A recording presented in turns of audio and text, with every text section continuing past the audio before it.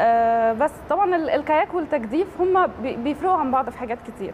آه الموضوع كده بالظبط زي ما يك- ما يكون بنفرق ما بين تنس الطاولة والتنس الارضي الاثنين. اسمهم تنس بس كل حاجة rules ثانية وقواعد. rules تانية بالظبط. يعني التجديف مثلا مركب التجديف هتلاقي ال- المقاديف مثبتة في المركب. آه، ال- ال- القارب بيكون أطول بكتير. آه، اللاعب بيقدف بظهره مش بوشه. آه، الكانوي آه، مختلف تماما المركب أقصر وال balance فيها أصعب وبيبقى فيها أكتر من نوع على فكرة آه، رياضة الكانوي بتشبه شوية ألعاب القوة في إن هي تحت منها 12 لعبة. في 12 لعبة. الكانوي لوحدها؟ تحت منها 12 لعبة. okay. موضوع كبير جدا. آه، بالظبط يعني. فإحنا مثلا هتلاقي مثلا في الكانوي والكاياك sprint. الكانوي والكاياك الكانوي ده بيبقى اللاعب المفروض إن هو آه، فارد رجله. مرتكز على ركبته بيبقى ماسك مقداف بكفة واحدة بيقدف لا يمين لا شمال. ده اسمه الكانوي. تمام؟ الكاياك اللاعب بيبقى جوه المركب ماسك مقداف حر في إيده والمقداف ليه كفتين وبيبتدي يقدف يمين وشمال.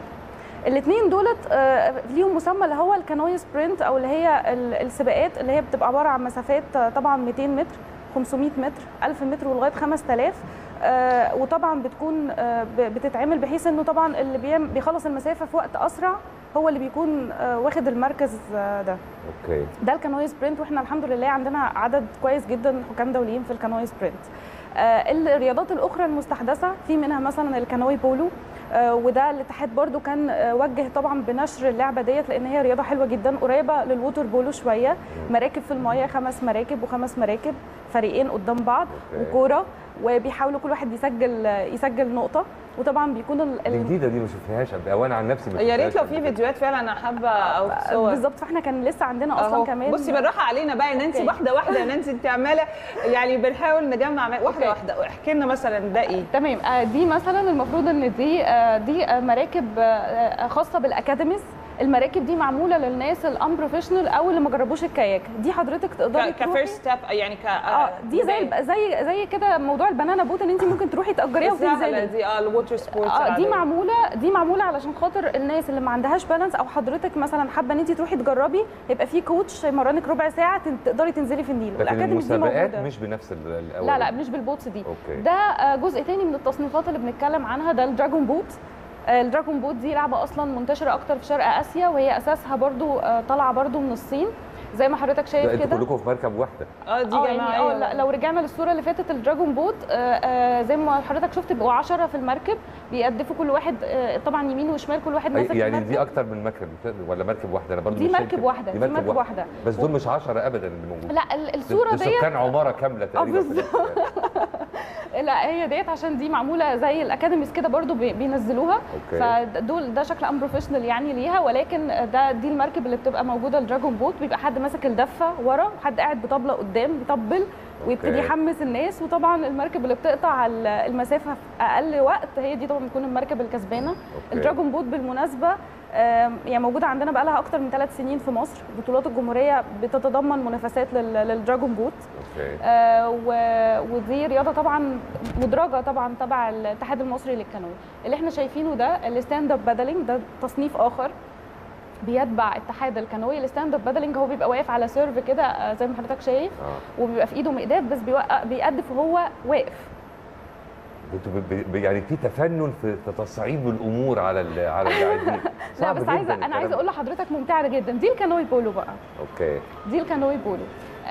طبعا زي ما حضرتك شايف هم بيكونوا اللعيبة ماسكين آه، بيبقوا موجودين في قوارب. قوارب معمولة بشكل معين إن هي ما تبقاش مدببة من قدام لأنه بيخبطوا في بعض. طبعا آه لا هم. already بيخبطوا في بعض بس عشان ما يحصلش زي آه، احتكاك أو يحصل والكرة اصابات بتتحدف بالإيد عادي ولا بالمجداف نفسه؟ بيبقى فيه بيبقى فيه referee حكم في النص واقف بي- بيحدف الكوره في النص ويبتدوا هما الاثنين يحاولوا ياخدوا الكوره آه، زي ما حضرتك شايف كده بيبقى فيه vest هما لابسينه. آه، آه، وفي طبعا اللي هي الخوذة اللي لابسينها برضو علشان خاطر آه، ما يحصلش أي إصابات. وبرضو المقاديف دي مش مش زي مقاديف الكاياك العادية دي بتبقى معمولة إن سن- سنها ما يبقاش مدبب عشان لو حد آه خبط حد آه طبعا. ما ما يحصلش حاجة. بس دي لعبة ممتعة جدا ويمكن كان عندنا بطولة فيها الشهر اللي فات.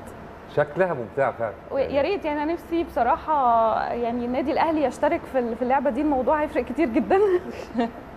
تمام؟